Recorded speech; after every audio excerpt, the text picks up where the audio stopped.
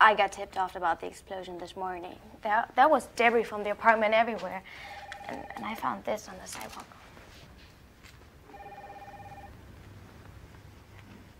Cute. No, come on. What more do you need? A map?